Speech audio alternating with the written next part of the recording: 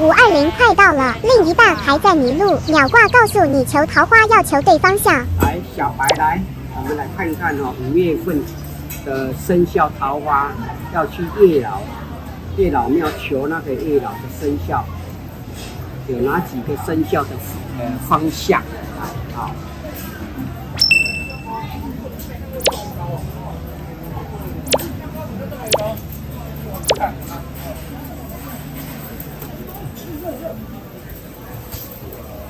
来，第一支签哦，就是说三眼吉地。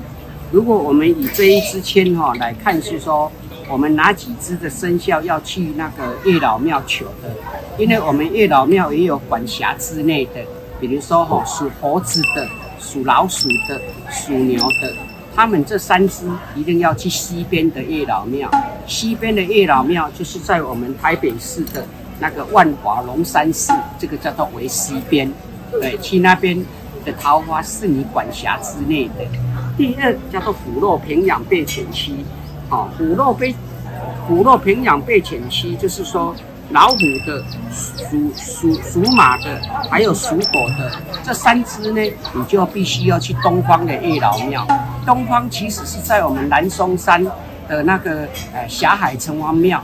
那边是属于这三只那个啊生肖所管辖之内的，你可以去那边求桃花，必定非常蛮灵验的啊。第三叫做呢啊前进思后退，前进思后退就是有一个蛇，蛇来讲的话就是说哦蛇鸡牛这三只也是要必须要去东方跟南方哦。如果以这三只南方，那也必须要去。